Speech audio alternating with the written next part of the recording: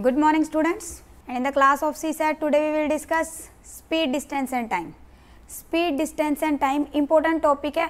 और एक ये मान के चलो कि अगर आपका स्पीड डिस्टेंस टाइम का कंसेप्ट क्लियर है इन दैट केस अगर आपका क्वेश्चन आ जाता है बोट एंड स्ट्रीम पे बेस्ड या फिर आपके पास क्वेश्चन आ जाता है ट्रेन पे बेस्ड या कोई भी व्हीकल गिवन है लाइक बस से रिलेटेड क्वेश्चन आ जाता है कार से रिलेटेड क्वेश्चन आ जाता है तो आप हर तरह के क्वेश्चन को कर सकते हो।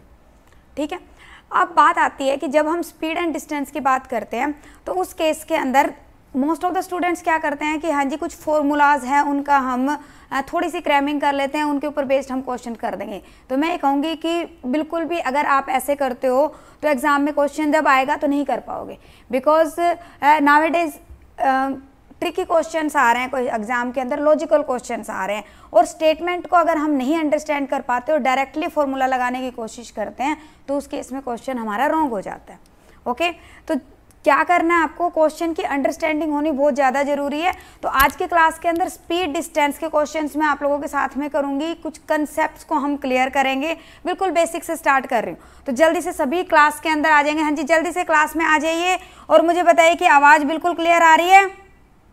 हाँ जी, सभी को मेरी आवाज़ आ रही है? Am I audible to all of you so that जल्दी से हम क्लास स्टार्ट कर दें। तो देखिए, अगर हम बात करते हैं बेटे टाइम स्पीड और डिस्टेंस की। टाइम सभी को पता है? स्पीड सभी को पता है और डिस्टेंस सभी को पता है। अब अगर हम बात करते हैं, कई बार ना कुछ स्टूडेंट्स तो सिर्फ़ इस पॉइंट के अंदर कंफ्यूज होते हैं कि कहाँ पे ये डिस्टेंस है और ये स्पीड है। ठीक है? तो क्योंकि जो स्पीड है स्पीड क्या होती है? Speed is finally a distance covered in a unit time period अब बात आती है कि हाँ जी, वो भी डिस्टेंस है, वो भी डिस्टेंस है तो फिर कन्फ्यूज़ हो जाते हैं कि हाँ जी, ये लूँ मैं या फिर ये लूँ। तो उस केस में ध्यान रखो कि जो डिस्टेंस है, वो यूनिट टाइम के अंदर जितना कवर हुआ है, उसको हम बोलेंगे स्पीड ओके तो अब अगर हम डेफिनेशन देखते हैं तो डेफिनेशन देखिए। Speed is the rate at which body और object travel to cover a certain distance certain distance is called speed of body speed is the distance covered by the object in unit time unit time unit time कुछ भी हो सकता है। This time में be one hour one minute one second it depends okay तो वो क्या हो गया आपके पास में? स्पीड टाइम टाइम क्या हो गया? The duration in hours minutes और second spend to cover a certain distance that is called time and distance simple सी बात है डिस्टेंस तो क्या हो गया? वो पाथ है जिसको कवर करना है ना? तो the length of the path travelled by an object और a person between two places is known as distance done अब अगर हम बात करते हैं स्पीड टाइम डिस्टेंस की तो रट्टा नहीं लगाना किसी ने भी फॉर्मूलाज को। एक बार समझिए। अगर मैं कहती हूँ कि मेरे पास में एक पर्टिकुलर डिस्टेंस है, ये ये डिस्टेंस है, ये डिस्टेंस है मेरे पास मान लीजिए फाइव किलोमीटर। फाइव किलोमीटर, अब मैं एक घंटे के अंदर मान लीजिए कि फाइव किलोमीटर का डिस्टेंस कवर करती हूँ, यहाँ से ए प्लेस से बी प्लेस तक जाने के लिए मुझे टाइम कितना लग रहा है? मैं कह रही हूँ कि मुझे लग रहा है एक घंटा। एक घंटा लग रहा है? अरे अब एक घंटे के अंदर कितना मैं डिस्टेंस कवर कर रही हूँ? फाइव किलोमीटर फाइव किलोमीटर का डिस्टेंस कवर कर रही हूँ। अब अगर मेरे पास में, अगर मेरे पास में जो टोटल डिस्टेंस है, इतना है इतना है, मैं कह रही हूँ कि मुझे दो घंटे चलना है। कितनी देर चलना है? दो घंटे चलना है। I will devote two hours तो टू आवर्स में मैं कितना डिस्टेंस कवर कर लूँगी? टू आवर्स के अंदर हम कितना डिस्टेंस कवर कर लेंगे? हाँ जी तो जो डिस्टेंस कवर होगा वो कितना होगा? भाई, एक घंटे में अगर मैं पाँच किलोमीटर चल रही हूँ तो दो घंटे में कितना चलूँगी? दस किलोमीटर। पहले समझो कैसे डेवलप हो रहा है। क्लियर अब बात आती है कि ये जो डिस्टेंस है, जो पाँच किलोमीटर का है, ये कितनी देर का है? एक घंटे का है। अब जो भी डिस्टेंस मेरा एक घंटे का है यूनिट टाइम पीरियड का है, उसको हम क्या बोलते हैं? स्पीड दैट मीन्स वट कि ये क्या है? इसको हम फाइनली क्या बोलेंगे this is five kilometre per hour और you will say it speed अभी मैंने स्पीड का आपको डेफिनेशन बताई है कि स्पीड क्या है? डिस्टेंस कवर्ड क्या था ये? डिस्टेंस फाइव किलोमीटर अब मैंने कहा कि एक घंटे में मैं उस डिस्टेंस को कवर कर रही हूँ। जब मैं उसको एक घंटे में कवर कर रही हूँ दैट मीन्स कि फाइव किलोमीटर पर आर और जब भी मेरे पास में डिस्टेंस होता है किसमें पर यूनिट टाइम में तो उसको हम क्या बोलते हैं? स्पीड अब अगर हम यहाँ पे बात करते हैं, कितना डिस्टेंस कवर किया तो मैं क्या कह रही हूँ? फाइव इंटू टू तो ये टू क्या था मेरे पास में? दो घंटे, तीन घंटे, चार घंटे that means this is time okay और ये फाइव क्या था हमारे पास में? Five kilometre per hour that means this is speed तो फॉर्मूला क्या हुआ हमारे पास में? Distance is equal to what speed into time distance क्या हो गया? स्पीड इन टू टाइम तो कोई अलग से फॉर्मूला नहीं है सिंपल देखो डिस्टेंस हो गया स्पीड इन टू टाइम जब आपके पास डिस्टेंस क्या है? स्पीड इन टू टाइम तो अगर मुझे स्पीड फाइंड आउट करनी तो स्पीड क्या होगी? डी टी इधर नीचे चला जाएगा. सेम वे अगर मुझे टाइम फाइंड आउट करना है तो टाइम क्या हो गया? Distance divided by speed okay और जब हम इस तरह से फॉर्मूलाज की बात कर रहे हैं तो उस केस में ये देखो कि जो डी है, अगर हम देखें तो ये सारा का सारा पैरेलल ऐसे चल रहा है. है ना? That means D is directly proportional to speed directly proportional to time speed ज़्यादा होगी तो ज़्यादा डिस्टेंस कवर होगा टाइम ज़्यादा होगा तो टाइम डिस्टेंस ज़्यादा कवर होगा। ओके सेम वे जो स्पीड है, अब यहाँ पे देखो ये क्रॉस में जा रहा है। क्रॉस में जा रहा है स्पीड और टाइम जब क्रॉस में जा रहा है that means what inversely proportional है।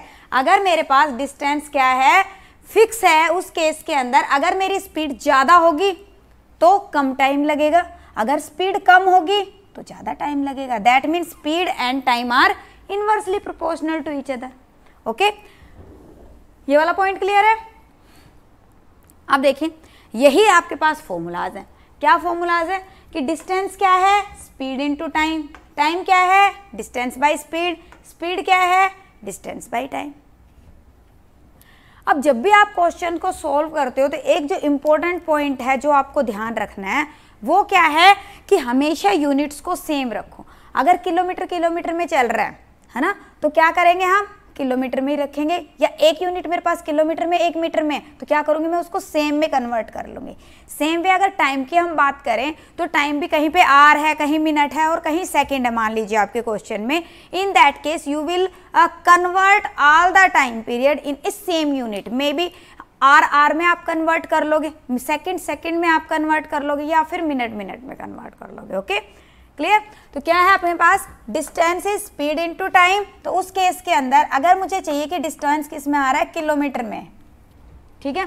किलोमीटर में तो यहाँ पे जो स्पीड है स्पीड भी मेरे पास में किसमें होनी चाहिए? किलोमीटर पर यूनिट टाइम जो भी मेरे पास टाइम गिवन है। आर है तो किलोमीटर पर आर ठीक है? मीटर में है तो क्या करेंगे? मीटर पर सेकेंड, इस तरह से। क्लियर? अगर मिनट में गिवन है तो पर मिनट। डन? तो इस तरह से ही है। अगर अब हम देखते हैं इन्वर्सली डायरेक्टली प्रोपोर्शनल तो अभी मैंने आपको फॉर्मूलाज में बताया क्या? Speed is directly proportional to distance speed is inversely proportional to time and distance is directly proportional to time done इसके लिए ये भी आपको अलग से लर्न करने की ज़रूरत नहीं है। जब हमें पता है कि हाँ फॉर्मूला क्या है speed into time that means in directly proportional directly proportional okay अब इसमें से कोई एक फॉर्मूला दूसरा ले लो। हाँ जी क्रॉस में आ रहा है। That means what inversely proportional clear हाँ जी। अब देखो, यहाँ पे अगर हम मेज़रमेंट की बात करते हैं तो सभी को पता होना चाहिए कि वन किलोमीटर किसके इक्वल है? That is one thousand metre one kilometre is equal to one thousand metre ये मैं क्यों करवा रही हूँ? रीजन बिंग कि सभी यूनिट्स आपको सेम रख के चलनी है। ठीक है? तो अगर मान लो मेरे पास कहीं पे किलोमीटर गिवन है और मुझे उसमें मीटर में कन्वर्ट करना है then I will multiply by one thousand okay same way hour is equal to sixty minute one minute is equal to sixty second and one hour is equal to thirty six hundred seconds okay now you should know the conversion अगर मेरे पास में value क्या है? Kilometre per hour के अंदर है and I want to convert it into metre per second metre per second तो कैसे करोगे? मान लीजिए मेरे पास जो स्पीड है that is X kilometre per hour. अभी हमें कन्वर्ट किसमें करना है? मीटर पर सेकंड में। तो अब हम क्या करेंगे? इस किलोमीटर को किसमें कन्वर्ट करेंगे हम? किलोमीटर को किसमें कन्वर्ट करोगे? मीटर में। And one kilometre is equal to what that is one thousand metre. Metre में कन्वर्ट हो गया। अब जो आर है आर को किसमें कन्वर्ट करना है मुझे? सेकेंड्स में। And one sec hour is equal to what thirty six hundred second. तो ये पर का मतलब क्या होता है? This is finally divided by okay so कितना हो गया? Thirty six hundred. That means X into five by eighteen तो यहाँ पे ध्यान रखो कि जब भी आपके पास में स्पीड किलोमीटर पर आवर में है and you want to convert into metre per second then directly multiply by five by eighteen okay solve करने की ज़रूरत नहीं है. बट अगर माइंड से स्किप हो जाता है कि भाई फाइव बाई एटीन था या फाइव बाई सिक्सटीन था कुछ तो सिंपल आप उसको करके देख लो. ठीक है? क्या किया है हमने? किलोमीटर को मीटर में कन्वर्ट कर दिया आर को सेकंड में कन्वर्ट कर दिया. देन हमारे पास ये वैल्यू ओके? सेम वे अगर मेरे पास वैल्यू किसमें है?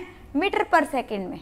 मीटर पर सेकेंड में है। Let us say S is equal to X metre per second अभी मुझे क्या करना है? I want to convert into kilometre per hour kilometre per hour metre को किलोमीटर में कन्वर्ट करेंगे दैट मीन्स की divide by one thousand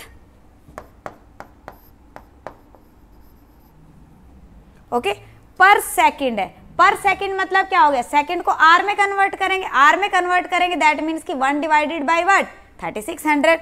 अगर इसी के अंदर यहाँ पे मैं लिखती हूँ one divided by thirty six hundred.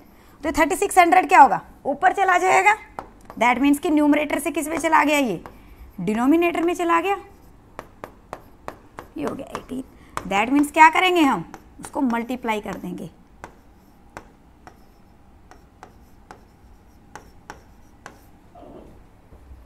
Okay याद करने के लिए करना क्या है कि जब मीटर पर सेकंड में कन्वर्ट करें दैट मीन्स कि स्मॉलर यूनिट में कन्वर्ट कर रहे हैं तो five by eighteen that means कि स्मॉलर से मल्टीप्लाई करेंगे ओके?